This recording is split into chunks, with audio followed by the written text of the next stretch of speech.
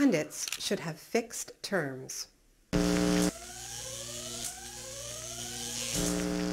Professional commentators, like newspaper columnists, should have term limits. U.S. presidents are restricted to eight consecutive years in office. So why do people who shape political opinion appear to have jobs for life? There are prominent newspaper columnists who have been pontificating continuously since a decade before I was born. And I'm not young. No wonder the pundit class keeps getting it so spectacularly wrong. Not just Brexit, Trump, and Corbyn, but also the invasion of Iraq and the supposedly shared benefits of globalization. The gap between expert opinion and actual public opinion has become as untenable as the wealth gap. It fuels the crisis of relevance for a lot of traditional media.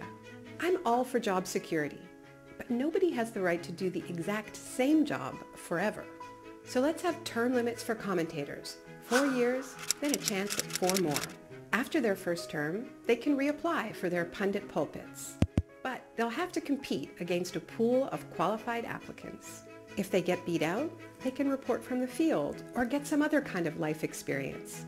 Anything to earn some new opinions and maybe even change their mind about a few things. After eight years of offering up their views for a living, move over and make room for fresh brains. Seem cruel? Please. Presidents from Argentina to Zambia are restricted to two terms. Yet some talking heads on the most prominent news networks have been interpreting, or rather misinterpreting, the world for us since well before the era of 24-hour news. The infusion of new perspectives might just save our news media.